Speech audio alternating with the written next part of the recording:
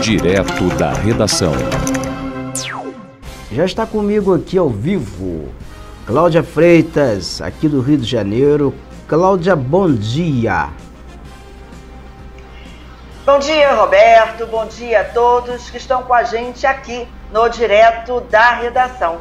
Roberto, a entregadora Viviane Maria de Souza, que foi agredida no domingo de Páscoa pela ex-jogadora de vôlei e nutricionista Sandra Matias, se entregou ontem à polícia. Havia um mandado de prisão contra ela por tráfico de drogas expedido pela Justiça de Laranjal Paulista, que fica no interior de São Paulo. É, esse mandado ele era do ano de 2017. Viviano chegou logo cedo à delegacia da Gávea, que fica na zona sul do Rio de Janeiro, acompanhada do filho, de amigos e da advogada. Ela prestou depoimento no caso de Sandra Matias e também se, se entregou à polícia para poder cumprir essa pena que estava é, pendente. A advogada da entregadora afirmou que Viviane já havia passado por custódia em São Paulo e achava que esse problema já estivesse resolvido. A advogada disse que Viviane ficou surpresa ao saber do mandado de prisão pendente e garantiu que a sua cliente é inocente e a acusação é injusta. A defesa da entregadora está tentando revogar a sua prisão né, e que a pena possa ser cumprida aqui no Rio de Janeiro, onde reside o filho da entregadora. É, nós vamos conversar agora, Roberto, com William Oliveira. Ele é diretor de Direitos Humanos e Segurança da Federação das Favelas e diretor de Articulação e Mediação da Associação de Moradores da Rocinha. Ele acompanhou a Viviane nos últimos dias, dias, esteve ao lado dela ontem, no momento em que ela foi prestar depoimento no caso da Sandra Matias, e também se entregar à polícia. William, bom dia. Bom dia, Claudinha. Tudo bom, querida? Tudo bem, William. William, é, havia esse mandado né, de prisão aí contra a Viviane. Ela disse que não sabia é, sobre essa, essa pendência com a justiça e também num período conturbado para ela, né, em que ela passou por essa agressão é, contra ela e deferida pela ex-jogadora de vôlei Sandra Matias. Como que a Viviane reagiu a tudo isso? Como é que está hoje a Viviane? Então, bom dia é, a todos, bom dia a Claudinha. A Viviane, ela sempre foi uma pessoa que sempre teve uma vivência na Rocinha durante os últimos sete anos, né? Uma pessoa que trabalhava aqui, que quando ela sofreu a fatalidade dessa dessa de violência e, e, e, discriminação, que na verdade foi só a violência, foi discriminada, porque a própria que a, que a violentou não reconhecia ela como mulher, independente da questão sexual que ela escolheu para viver, né? Não podemos viver uma vida e discriminar a pessoa pela opção sexual de vida que ela faz. Então, é, a Viviane, quando nos procurou, através da Priscila, que é líder do LGBT aqui da Rocinha, para a gente ajudar ela, a gente estava ajudando na questão da moradia, né? porque ela é moradia, pegada, e precisando de um apoio. E aí, no fim feira conversando, né? tomamos ciência dessas, desse mandato de prisão, uma questão e ela Isso, não sete, há sete anos, William, há sete anos que ela está aí na, na Rocinha, né? Nesse período, nesses sete anos, em momento nenhum ela recebeu nenhuma notificação da justiça dizendo que havia essa pendência judicial. Nada ainda. Nada, nenhum momento foi comunicada, né? E para todos nós e para ela foi uma grande surpresa. Mas tudo isso, é, é, que sofreu todas essas situações de violência, de discriminação, né, de exclusão, né? Porque, pô, quando a gente se aproximou, ela estava num estado psicológico muito difícil. A doutora tem até um laudo, levamos ela na UPA para falar com, com, com, com um psiquiatra, né? Porque é, a situação que ela estava querendo se matar, né? Enfim, tivemos que passar esse fim de semana é, bem próximo, né? Não só do filho, mas também dela. Então a gente criou um grupo de pessoas ali para poder acompanhar. E às, vezes eu falando parece até sensacionalismo, mas não é, porque o que acontece? Quando tomamos ciência desse mandato, nós conversamos com ela lá na, na associação e deixamos ela, ela bem à vontade se ela queria seguir a vida dela da forma que estava ou ela queria é, o, que, que ela iria decidir. Ela optou por se entregar, né? Tanto que, que a comunicação com a delegacia foi só após a decisão dela realmente de se entregar. Então, a questão do prazo de segunda-feira foi para ela estar melhor psicologicamente. Então, houve um acompanhamento no fim de semana de pessoas mais próximas, né, do filho, porque eles não têm familiares por aqui.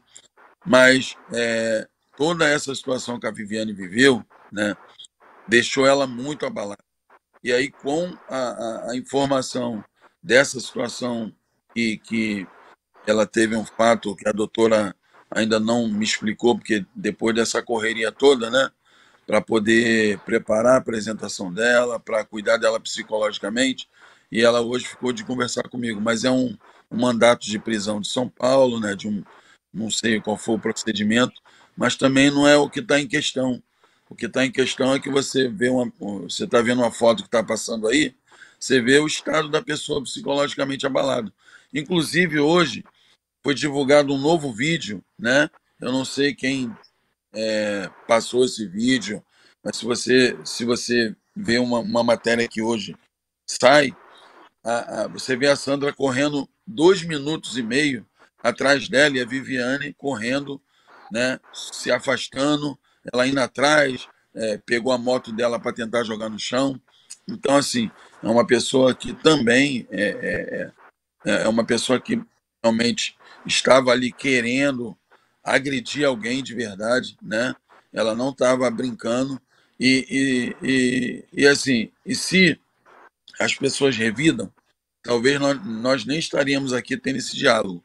Talvez ela, por morar em São Conrado, em um bairro nobre, em ter uma influência maior, ela se tornaria vítima dessa situação, mesmo sendo culpada. E aí, ontem, é. acompanhamos a apresentação da Viviane, a 15ª DP, né? Ela prestou depoimento durante umas quatro horas, né? Você vê que pela imagem ela sai muito abalada depois que ela, ela tem a ciência da, da, da, da voz de prisão, né? Que é, um, é uma praste é, da, da, delegacia que tem que ser feita. E o filho dela também ainda se encontra é, muito abalado. Hoje, inclusive, marcamos para conversar com ele. Né? E estamos acompanhando essa situação de perto. Né? É, é o que a gente hoje é, trabalha é para que é, uma situação não venha é, querer desqualificar outra. Né?